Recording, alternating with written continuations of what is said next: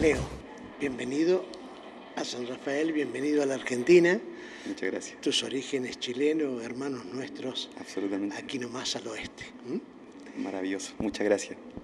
Tengo entendido que no solamente has venido porque has sido invitado por el organizador de este Festival Seis Continente de San Rafael, sino también por tu amigo Nasif. Absolutamente. Estamos trabajando con Nasif y también con otros músicos de la región de Sudamérica. eh, la posibilidad de que de la autogestión, desde los proyectos que hagamos nosotros mismos como músicos, abramos y más bien eliminemos fronteras en la música. Entonces trabajando justamente en este tour que se llama Tour Cordillera, que lo que hace es unirnos, nos unimos a través de la cordillera y tocamos tanto en Mendoza como en Santiago o en otros lugares de Chile. Entonces estamos en una itinerancia compartida. Eludiendo también egoísmos.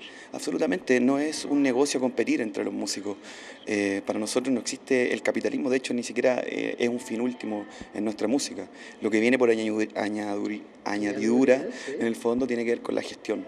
Eh, pero no es el fin último, así que, como te digo, aquí no hay competencia, sino que hay, hay que buscar la forma de compartir entre nosotros las oportunidades y las posibilidades. y volver a demostrar y enseñar con el ejemplo, ¿no? De que.